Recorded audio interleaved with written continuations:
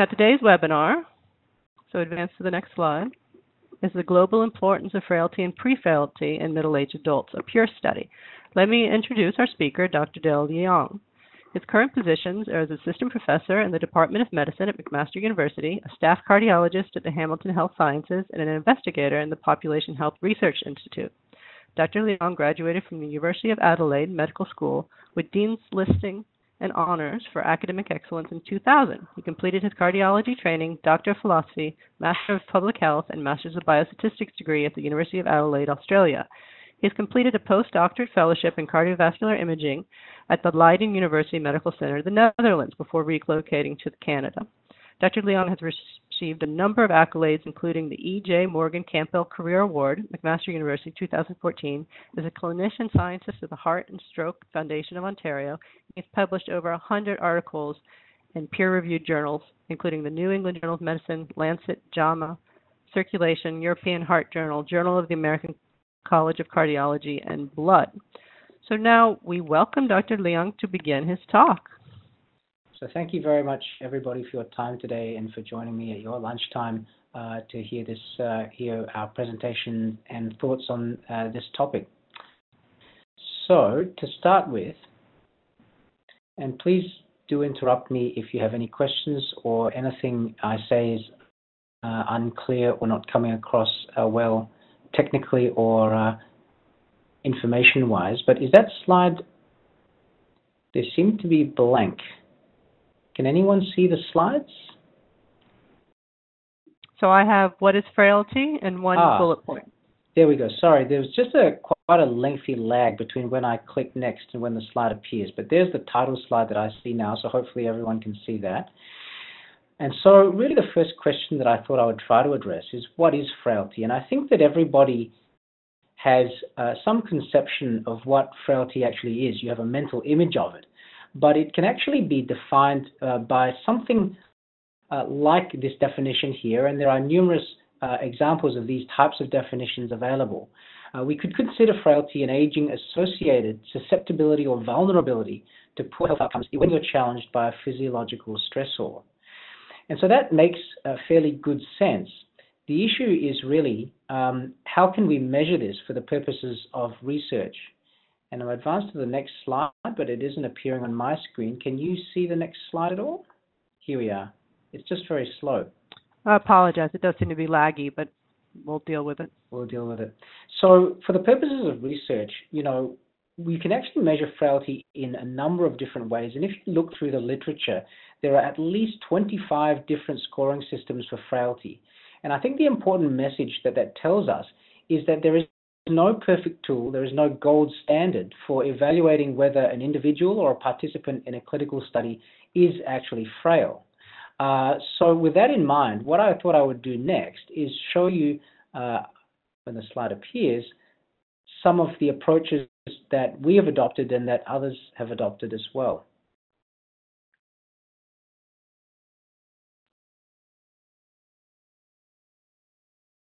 So for the purposes of our research, we uh, adopted two uh, different approaches to measuring frailty, and I think it's fair to say these are probably the two most widely cited approaches. The first is uh, an approach called a cumulative deficit approach or cumulative deficit index. And when you do this, what you do is you count for each individual in a, a study how many so-called deficits they have, and you express that as a proportion of uh, the number of deficits that you've counted in total. So you might count at least you know 20 of these so-called deficits and ideally at least 30 to 40 of them. And I'll go into some more detail about what constitutes a deficit and what you can consider a deficit. But basically, these are symptoms or physical signs that are abnormal, uh, the presence of previous diseases or laboratory abnormalities. Because you're expressing these deficits as a proportion of the number of deficits counted, you then have a ratio or a fraction at the end of your count. And this fraction is what's known as your cumulative deficit index. And typically, uh, there are thresholds that have been described in the literature whereby if you have less than one tenth of 0.1 of the counted deficits, you are considered non-frail. If you have more than 0.21 or some references more than 0.25 uh, a deficit index, so more than a quarter of the deficits that are counted, you are considered frail. And between those, you can be considered a state called pre-frail, which is between uh, being non-frail and being frail. So that's one approach there. The other approach is uh, what has been called a phenotypic approach, where uh, you measure a number of uh, characteristics uh, that each participant has, uh, so their phenotype, if you like, and uh, you can count them up as well. So, for instance, with the the classic phenotypic approach that was described by Linda Fried almost 20 years ago, you measure muscle strength, and if less than the lowest quintile muscle strength considered uh, that's considered to be low strength. Uh, you can measure physical activity in various ways, including a physical activity questionnaire. You can measure gait speed uh, with a number of uh, tests of, of, walking speed. Typically, for instance, uh, one might use a time to get up and go test. Um, and there are simple questions that you can ask to see if uh, an individual has uh, lost weight unexpectedly. And the sort of threshold that might be used would be, say, four kilograms weight loss unintentionally over the past 12 months or so. And lastly, we ask about exhaustion, which is very much a subjective uh, complaint that an individual might have, uh, whether or not someone uh, has that. And so, according to Fried's initial description, if you had three or more of these characteristics of, uh, of frailty, you were considered to be frail. And if you exhibited one or two of these characteristics, you were pre-frail, and none of the characteristics, you were considered non-frail.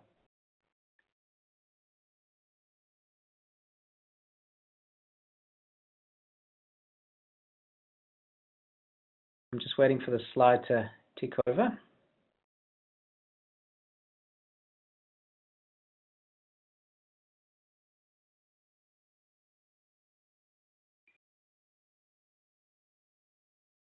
I hope that's going to tick over.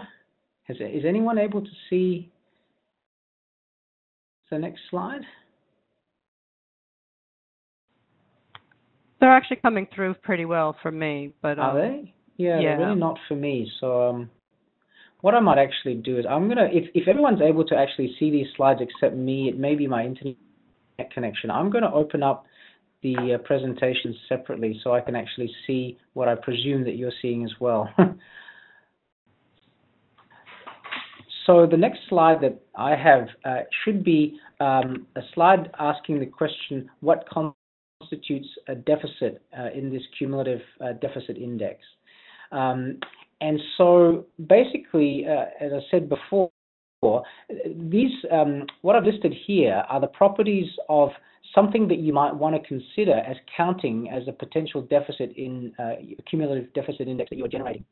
Um, a, a deficit should increase with age, but it should not saturate too early. And what we mean by that is we're looking for characteristics that tend to become more common as you get older, but we don't want them to be so common or develop so quickly that everyone by the time of, say, middle age has it. Okay? Secondly, um, you want these deficits to be associated with health. So, for example, there isn't a very strong association between, uh, I don't know, the presence of uh, wrinkly skin and uh, health outcomes hypothetically, let's say. Uh, so even though wrinkles do increase with age, uh, they're not specifically associated with health, and so they would not be an appropriate thing to count as a deficit, as an example. Uh, thirdly, we like the deficits to really cover in total a range of bodily systems. So you don't, for instance, want all your deficits to be focused on just the heart. Uh, you want to ensure that you uh, gather information about uh, a range of physiologic parameters uh, for an individual. And lastly, most deficits are considered binary. So if you have them, then you get a score of one for that uh, that uh, de deficit, and if you don't have it, you don't get anything for that deficit. But some can obviously be weighted. As an example, um, you might consider muscle strength. I think we generally accept that the stronger you are, the greater your muscle strength, uh, the better your physical condition. And so you might choose, if you're measuring hand grip strength or muscle strength in, in participants, to divide up uh, that one point that you allot for muscle strength into a range. So for instance, if someone is in the top quintile of muscle strength, you might say that they have a score of 1. If they're in the second quintile, a score of 0.75. The third quintile, you know, a score of 0.5, and, and so forth there. So those are the sorts of ways that we approach uh, trying to sort out what could be considered a, a, deficit and how to use it in a cumulative deficit index. So on the next slide, I've actually uh, shown some examples. As I've indicated on this slide for the cumulative deficit index, I think at least 30 to 40 deficits are desirable and the sorts of things that may be quite uh, uh, relevant to include in such an index include, for example, a past history of things like cancer or myocardial infarction, uh, subjective uh, feelings that the participant might express, like feeling depressed, uh, feeling uh, fatigued, and so forth. you can include um, functional parameters. So, for instance, if they respond yes to needing help dressing or yes to difficulty climbing stairs, that would be considered a deficit and finally, you might consider actual physical measurements like grip strength that you can, can take or blood pressure.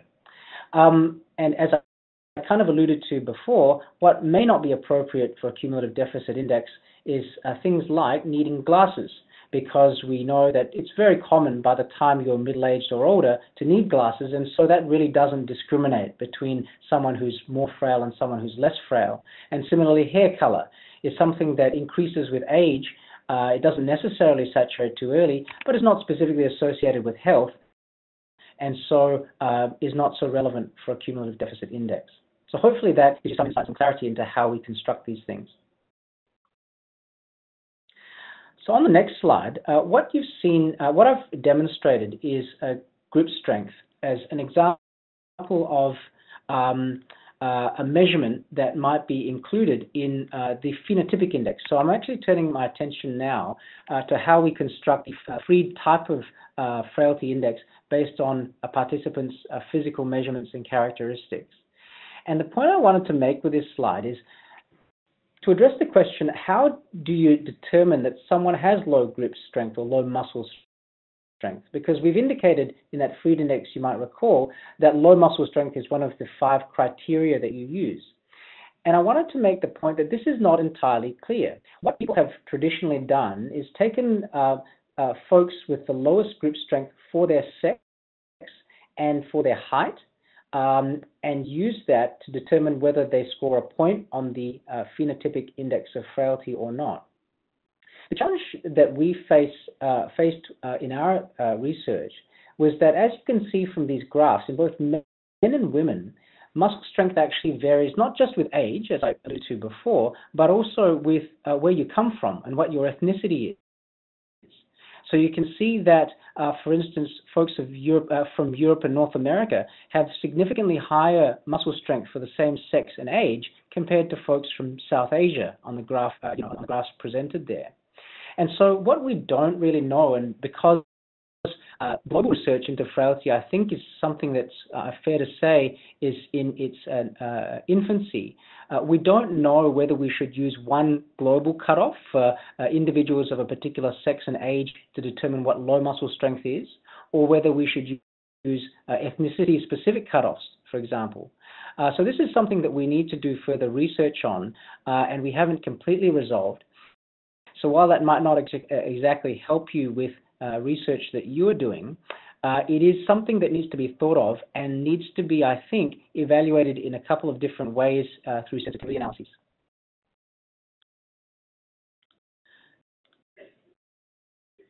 On the next slide, you see a similar principle it comes to physical activity. So this is data uh, from the PURE study that I'll describe in more detail later on that Scott Lear's published.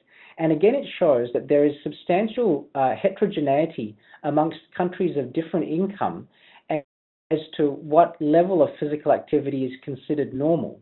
So you see that in high income countries, somewhat to our surprise, uh, folks in general are more physically active than in lower income countries, and also the source of that physical activity varies. So recreational physical, physical activity is seen almost exclusively in high income countries, much less in lower income countries. And so again, when you refer back to that free, uh, that Fried frailty index, and you ask yourself, is a particular participant low physical activity or not? The next question is, what cutoff do we use for physical activity? Do we use a reference range that is really catered towards high-income countries, or should we use something that's specific to where an individual comes from? And the truth is that uh, you know, levels of physical activity have not been studied as well in low-income countries as compared to high-income countries, and so those reference ranges, if you're going to use country-specific reference ranges, are a little unclear. So these are some of the challenges that we currently face and that we need more research to try to clarify there. So having given you that kind of background about how we evaluate frailty and what some of the challenges are, I think the next question that's pretty intuitive is how common is it? And really the answer to that question is that it depends. It depends, as I kind of uh, have been uh, talking about, how you actually measure it, and it also depends what population you're looking at. So on this next slide here, we uh, demonstrate uh, some of the other uh, previous work that's uh, looked into the estimates of frailty prevalence. And there are a number more of these that I haven't presented. But I think you're going to get the idea that most of these studies come from older men and women uh, from North America predominantly and to a lesser extent uh, Europe. Um, the other thing to take away is that all of these studies evaluate frailty in different ways in one of those 25 or more uh, indices that I, I mentioned uh, at the beginning of my talk. What does come through, though, is that amongst older men and women uh, from uh, predominantly North America and Europe, it doesn't really matter how you measure frailty. Frailty and its precursor, if you like, pre-frailty, are common. So if you look on the right-hand side of this table, you'll see that uh, a score in Rockwood's scale there of 3, uh, indicating someone who's quite frail, is present in 1 in 20 adults aged over 65 in Canada. Uh, and Cawthon in the bottom row found a similar finding in the US. Um, Woods actually found a substantially higher uh, prevalence of frailty uh, using the Fried phenotype, which obviously uh, does differ from the cumulative deficit index. But I think it's fair to say that frailty and pre-frailty are certainly common uh, in these data from older individuals from wealthy countries. And the next intuitive question is, if we accept that frailty is common, uh, does it actually matter? So I would argue that yes, frailty is very important, and I don't think that will come as a surprise to anyone. And here is some data to support that contention. So from those same papers I presented on the previous slide, you can see there that as frailty increases using the Rockwood cumulative deficit type of index, um, uh, the risk of death increases quite steeply. And similar findings can be uh, had from other studies, whether you measure frailty using a, phenotypic type approach or another type of scale. Uh, the presence of frailty is associated with virtually a twofold increase in the risk of death, and that's fairly consistent irrespective of how you measure frailty. So given that background, and I think that that background may be somewhat familiar to most people uh, who would uh, who would be tuning in today, um, I think the real interesting questions are what do we consider to be the major knowledge gaps when it comes to frailty? And the specific knowledge gaps that uh, I think exist when I read this sort of literature are as follows. Firstly, given the sort of relative paucity of information from global populations, are there actually differences in the rates of frailty amongst people from different parts of the world? Secondly, uh, frailty has traditionally been thought of as a condition affecting older individuals. But to what extent does it actually affect people who are younger than that? Because that may actually be the seed. It may be the starting point for the development of later frailty as you get older. And finally, what I don't think has been explained very well is how frailty actually leads to premature death. We saw from the previous slide that it certainly seems to, but we don't know exactly how. Uh, it's not like a disease where you know you can die clearly of a heart attack, you can have a cancer that stops your vital organs from working, but we don't know how frailty actually leads to death. And so we'd like to try to address this in some of the research that we've been done. And we'll start by talking about uh, the global prevalence of frailty.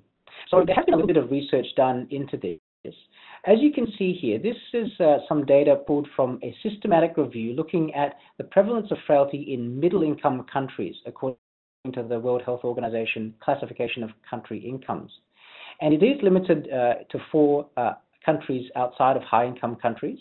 Again, as before, it's limited to older populations in these countries, and they have sample sizes which are uh, moderate, I think it's fair to say.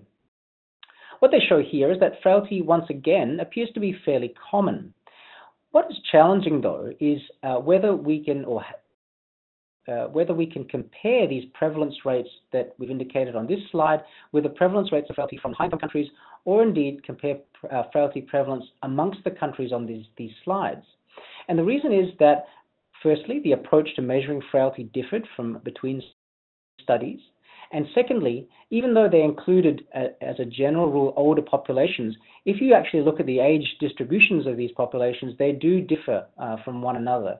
And so it's very difficult to conclude whether one country or one region has higher frailty genuinely than another country or another region and exactly what the prevalence is. Here's uh, another piece of evidence that might help inform us. This is uh, data from Europe where they measured frailty using a cumulative deficit type of approach in community dwelling adults aged 50 and older. And they plotted the wealth of the country on the horizontal axis against the frailty index, that ratio I mentioned before, on the vertical axis. And they found that there was a, a general uh, sort of inverse relationship whereby the higher the country income, the lower the, uh, the prevalence of frailty, if you like. But once again, this data is actually limited to a fairly narrow bandwidth. Most uh, European countries are really high or middle income with very little information on low, middle, and low income countries and also uh, it's using an approach which does have some limitations that uh, that we can speak to. So I think that essentially the bottom line from my take on it is that we have somewhat limited information on how common frailty is globally and how it compares in different regions. Secondly, uh, does frailty begin from middle age? Um, so there have been a, a, small number of studies that have tried to address this, but only really one that I can find that really looks at a younger population, and that is, uh, again, a study by Ken Rockwood uh, looking at uh, adults in North America aged uh, over the age of 20. They didn't uh, really try and uh, divide these participants up into frail versus non-frail, but what you can see from the frailty indices that were reported in this paper is that even in middle age 45 to 64, there's a suggestion that frailty may actually be reasonably common with a mean frailty index of 0.16, remembering that a frailty index of 0.21 or more might be considered to be frail. But aside from this data, there really is a very limited amount of information about how common frailty is in middle age and what it actually means if you are found to be frail in middle age. Lastly, how does frailty lead to premature death? Uh, that is something that I think there really is a substantial gap in knowledge about and something that we hope to be able to address in our research moving forward.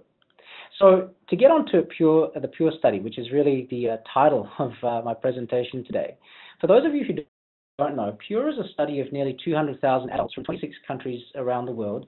It was initiated by uh, Dr. Salim Yusuf, uh, who's my mentor here at McMaster University.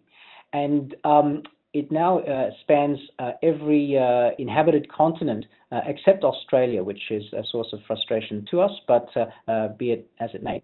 Um, Pure recruited adults aged 35 to 70 with a median age of 50 years, it turns out, and these folks were all living in the community. Um, as it turns out, just the slight majority of these participants were women, and it is a study that's been being conducted for a long time now, so that the median follow-up across all uh, all uh, participants is approaching nine years. So this is a, a fairly substantial study. Uh, amongst a number of measurements taken at baseline from pure participants uh, was uh, grip strength. Uh, we measured it using a hand grip dynamometer, and you can see the image on the on the screen there. And what we found in previous work that we've done was that grip strength alone varied significantly between countries and obviously between sexes. And you can see the various pure countries. At this stage, we only had 21 countries with hand grip strength measured. Um, grip strength varies uh, markedly uh, between, uh, let's say, countries in low-income areas and countries more high-income like Canada and Sweden. Um, but it was really this uh, piece of research uh, and what I'll present on uh, the next couple of slides that piqued my interest in frailty as a phenomenon. So having measured grip strength uh, at baseline in all these individuals, we examined the relationship between that measurement and the subsequent risk of death. And as you can see here, that for every five kilogram reduction or lower grip strength that participants had, the risk of death increased by 16%. and that was consistent for both cardiovascular and non-cardiovascular death. And this tells us that grip strength may not be something related to any particular disease stream, but it might be something a little unrelated or independent uh, of a particular disease. And we went on to look at the relationship between grip strength and your, your case fatality. And so what we mean by that is if during the course of those eight years, or at the time we did this study, six years of follow-up, you developed a disease, be it an MI, a stroke, or a cancer, and you can see those displayed on the horizontal axis there. The grip strength we use to divide up into high, middle, and lowest grip strengths. You can see uh, the on the vertical axis the case fatality rate, which is the risk of death uh, after the development of any of these conditions. And what we've shown is that no matter what disease you got, whether it be an MI, a cancer, a pneumonia, if you had low grip strength in the blue bars there, your chances of dying were substantially higher than if you had uh, even middle or high grip strength. Um, this tells us that grip strength seems to be very much a protective factor, uh, or muscle strength, I should say, is a protective factor against dying from some sort of insult or disease. And that's a nice thing because that actually uh, ties back in with the original definition of frailty I mentioned before on the very first slide. Uh, it looks as if muscle strength is telling us exactly what we hope it would uh, when we think that it's a marker of frailty.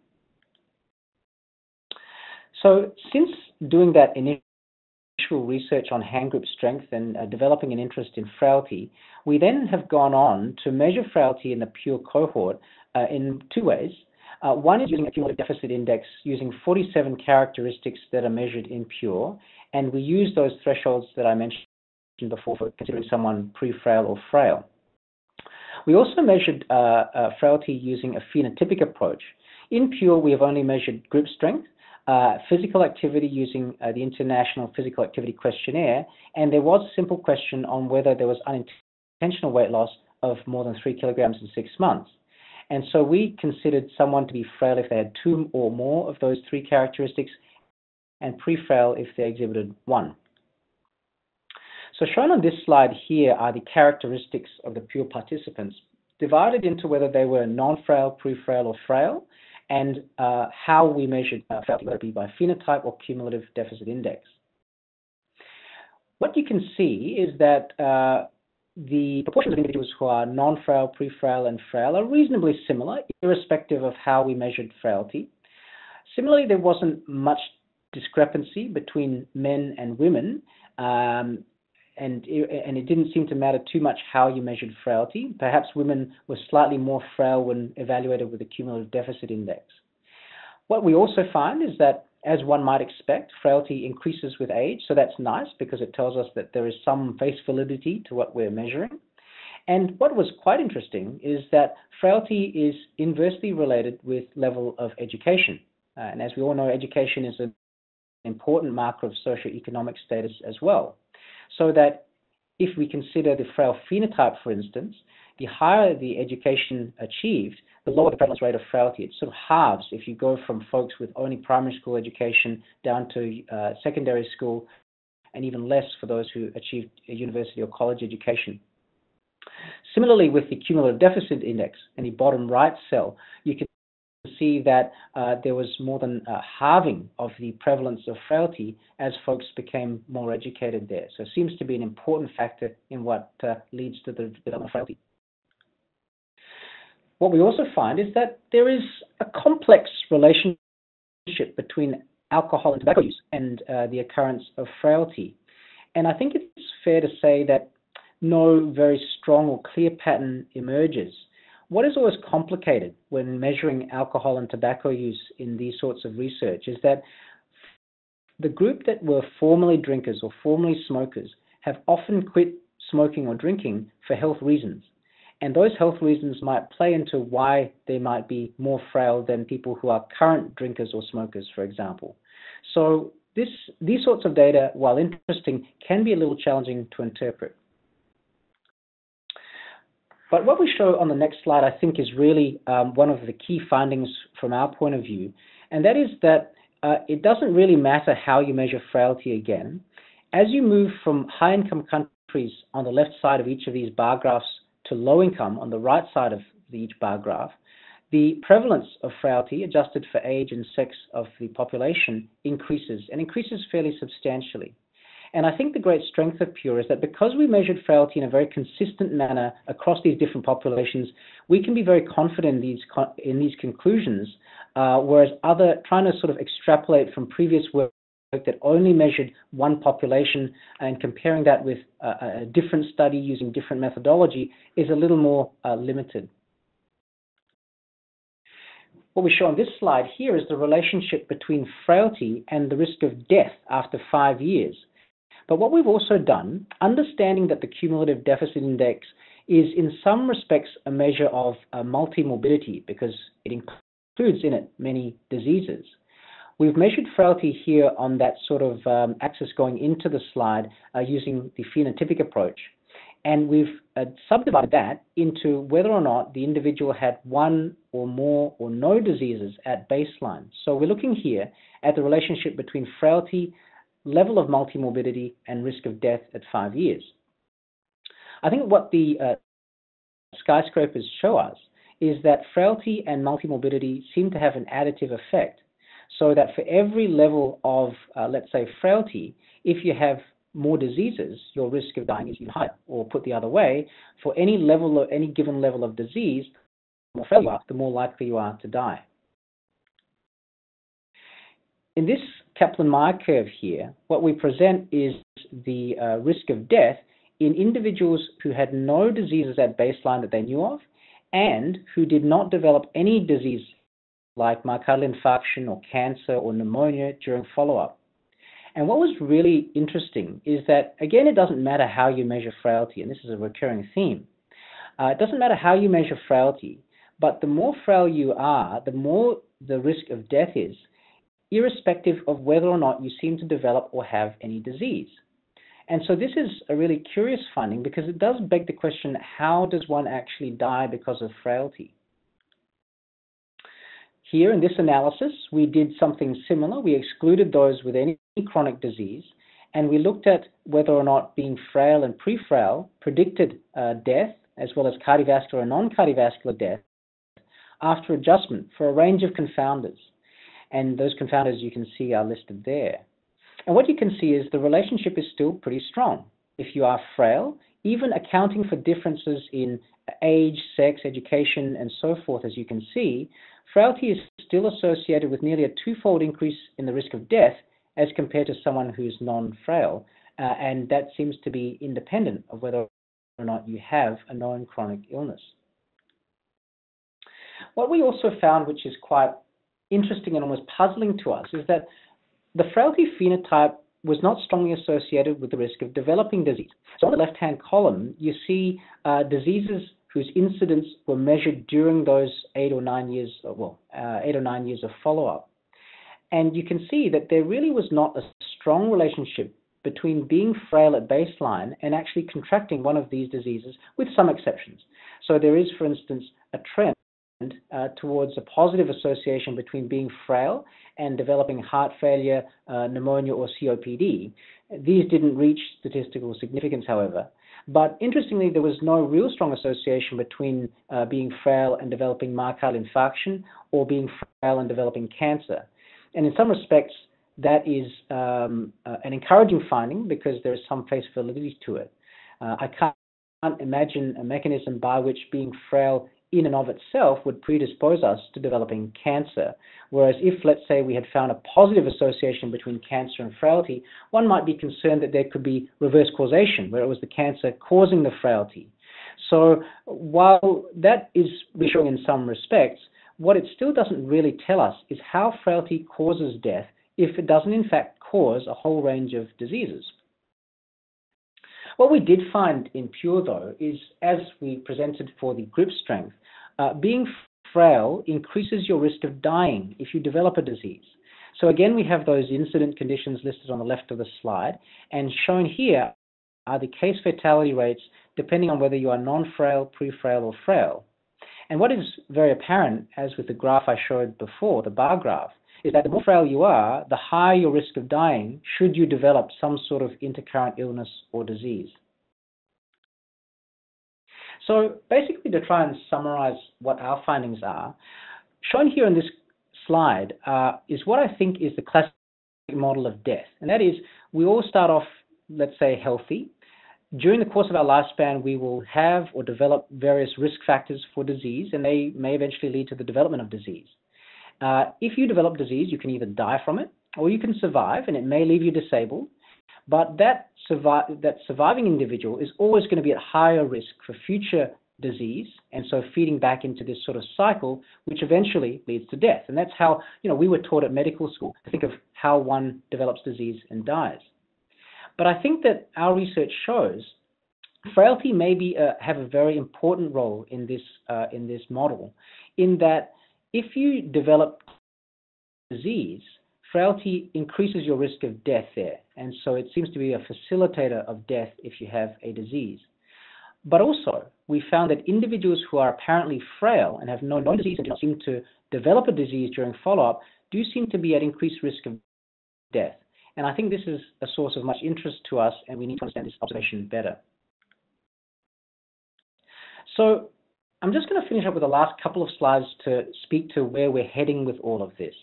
I think when we, uh, if we acknowledge that frailty is an important uh, phenomenon, then we next need to ask ourselves, why do people become frail? And I think there are a number of uh, players that might feed into why people become frail, and we can classify these as, uh, to some extent, biologic. Uh, for instance, you know, time itself uh, is likely to contribute to frailty, but so too might diseases and multimorbidity. And then there are a range of modifiable determinants like your behavioral risk factors and non-modifiable ones, like uh, you know whether you're a man or a woman, for instance. And so you might actually uh, subdivide those categories of potential determinants of frailty even further. And people have done lots of research into these uh, different categories of determinants. For example, there is a clear association between shortening of the telomeres and the chromosomes and uh, biologic aging, uh, relationships between mitochondrial DNA mutations and biologic aging. Uh, in the next column, you see, you know, I think that there is um, uh, almost by definition a relationship between a physical inactivity and frailty and so forth. So these, this is how we can conceptualize potential determinants of frailty. What we're currently doing to try and get to what are the most important causes of frailty is we are in the process of measuring uh, frailty amongst the PURE participants on the left-hand side uh, in those who survive 10 years. And what we want to know is if you are robust or non-frail at the beginning of this PURE study, and you then subsequently become frail, what has led to that? Incidentally, I should mention we have another similar data set that we're developing in prostate cancer patients as well. And so we consider frailty, as I kind of alluded to before, as uh, you know a, a, number of potential contributors to it. And what we uh, are doing is looking for potential biomarkers of uh, frailty. And these can be categorized in a number of different ways. Now, I've listed one here that's occurred to us as we've done uh, a scoping review of literature on potential biomarkers of frailty. And again, there are you know, many dozens of these listed in the literature. But what we eventually hope to do is use advances in biomarker analytic techniques called multiplex analyses, whereby we can analyze hundreds of these biomarkers with very small quantities of biospecimen or plasma to then identify patterns of biomarkers rather than what is traditionally done, identifying single biomarker associations at a time. And we feel that these patterns of biomarker associations, kind of using the categories I showed on the previous slide, may actually be more relevant uh, in predicting who's going to become frail than any one biomarker by itself. Obviously, this is a big undertaking. Uh, we are measuring, as I mentioned, hundreds of biomarkers, and they can be categorized in different ways, and they will have uh, relationships with the development of frailty, which needs to be adjusted for by a number of confounders. And so we are starting to develop these very, very complicated uh, biomedical models uh, to describe how frailty develops. And I think that these sorts of analytics can very easily and rapidly get beyond the brain capacity of uh, poor folks uh, like myself. And so I think that we are going to need to leverage things like artificial intelligence to enable us to understand these complex relationships as we move forward and as our research keeps up to date with uh, the available technology for doing the research. So really, um, to wrap up and allow some time for discussion, uh, I think it's fair to say that both frailty and pre-frailty are common. I think we've shown that they are more common in poorer settings and in lower uh, income countries. It's very clear that frailty can be identified from middle age and has prognostic significance from PURE, even from middle age. Uh, and it's also clear that uh, frailty leads to death by uh, increasing um, uh, susceptibility should you develop an illness, but also seems to potentially play a role in leading to death independent of disease. And I think we need more research to understand why that observation it might be the case. And so, lastly, I think that the take home message for me is that reducing frailty, given how common it is and how important it is, may really be an underexploited way of reducing mortality and, I haven't spoken to this, likely disability that can complement our existing efforts to prevent and treat disease. And so, on that note, um, thank you very much uh, for your attention.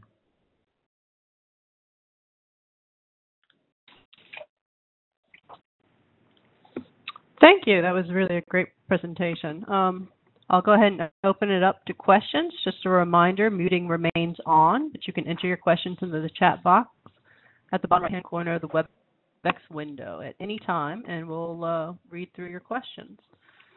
So um, Nicole Ayamura asks, curious if frailty could be an indicator of recovery time and quality of the recovery. So um, would you like to speak to that? so recovery, I might have missed part of it. What was that recovery from? Was it recovery, recovery from the quality of the recovery? Yeah. Okay, I'm going to take so it. The question is curious if frailty. I'm sorry. Dr. Leong, can yes, you hear me? Sorry, yes, I can hear you. Uh, yes, I'm going to take it that you meant recovery from, let's say, an illness or even an injury, and I think the answer is is almost certainly yes. Uh, I think that the less frail, you know, the more frail you are, the less likely you are to recover, um, and the slower you are going to be to recover uh, from any major illness or injury. I think we certainly see this clinically and anecdotally, and you know, this is something that could certainly be measured in research and, and almost certainly has. Uh, but I think that that conclusion is, is uh, uh, almost certainly correct. Just speaking speaking to the definition of frailty the resilience or uh, ability to recover from illness, injury, exactly. So the vicissitudes of life. Exactly. So by definition, uh, frailty is a characteristic that enables recovery from illness or injury. Really, the more pertinent question is to what extent are our tools and uh, methods for measuring frailty able to detect that? And if you are able to show that these sorts of tools are predictive of recovery time, then again you have added face validity uh, to how uh, you measure frailty. Certainly. Well, while we wait for a couple more questions to come in, I'll go ahead and, and pose one. Um, so, you know, you, you showed fairly well that that um, frailty does differ across countries. It seems to be um, an important indicator of frailty. Did you look at groups across countries? Did you did you stratify based on on income country to country and look at that? Yes. So you can divide this up in a number of ways. You can divide it up uh, by country income, which is what we did. You can divide it up by um, uh, also by uh, things like level of education. So uh, irrespective of where you come from, uh, be it a high or a low income country, the more educated you are, there is, uh, you know, a generally pretty good relationship or correlation between educational status and socioeconomic status. And so when you do that, even cutting across countries, there's again a very positive association between level of frailty and education.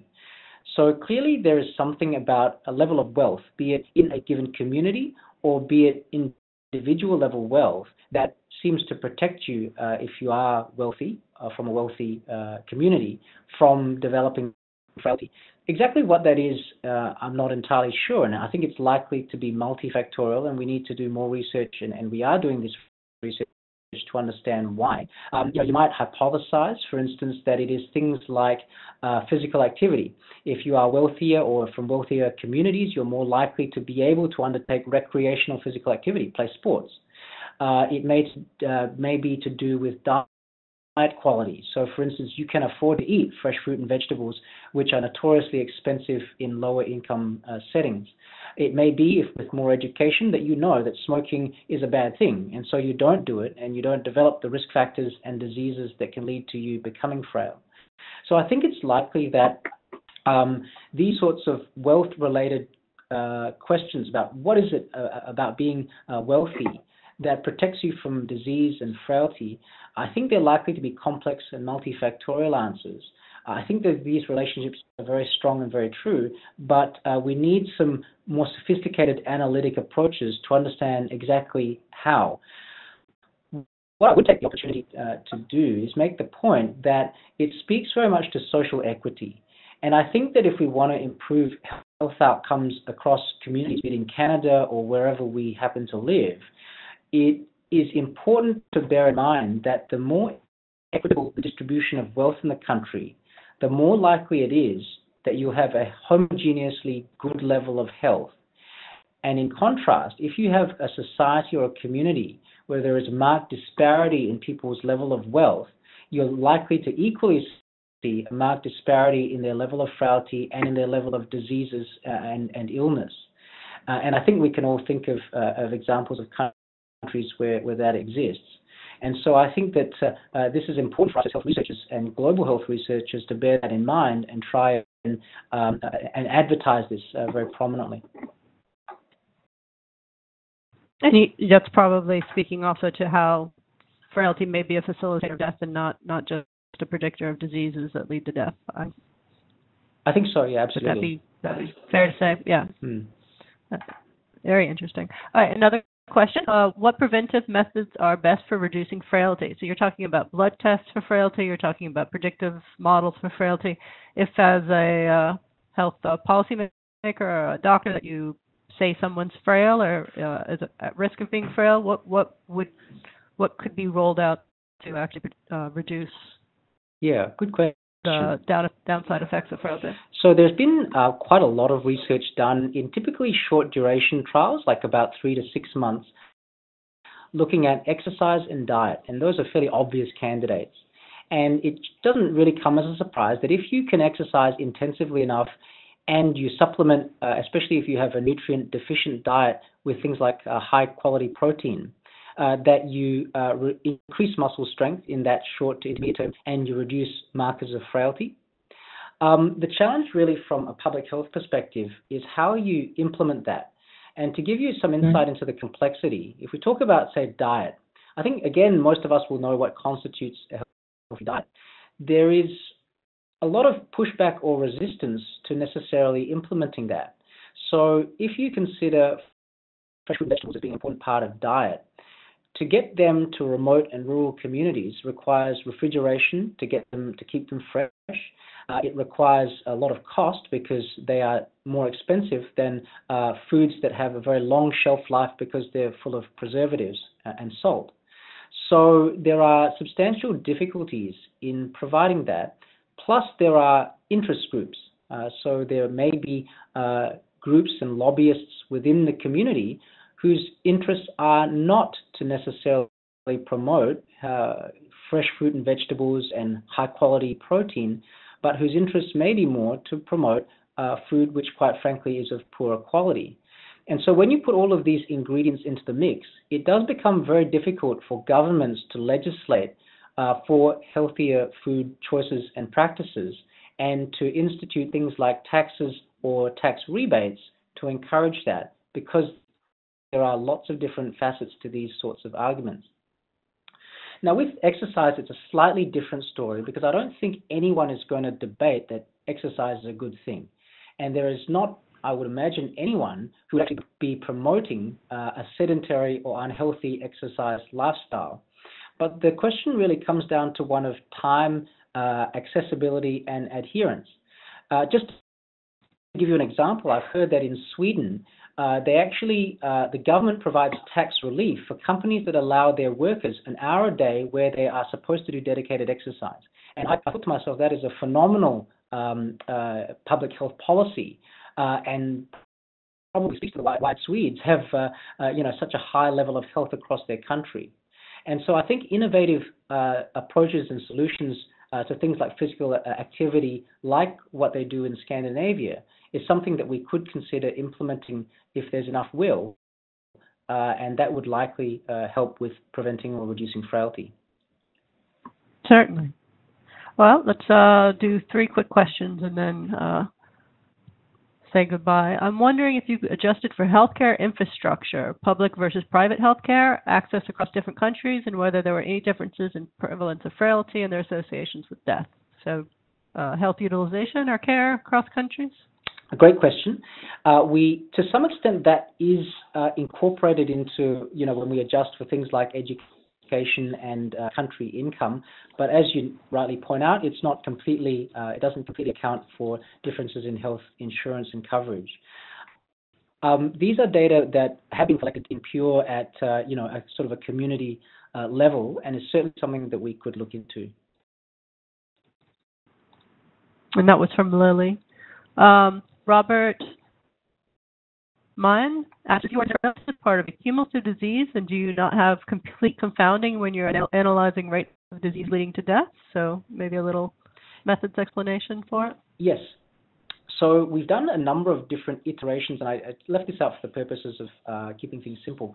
Uh, we've done a number of iterations of the cumulative deficit index, one that includes diseases like, you know, a history of cardiovascular disease, a history of cancer, and one that does not include them. Uh, we've also done analyses whereby we exclude individuals who have any um, any chronic disease at baseline. And actually, uh, irrespective of how you cut up the pie, the findings are still the same, and the effect sizes do not change very much from uh, a risk of death of about two with frailty. Uh, so uh, you wouldn't necessarily think it, but that's what we find. Okay. And uh, we have a request to review your uh, biomarkers one last time. The slide, you mean? Yeah. If I go back to this one here.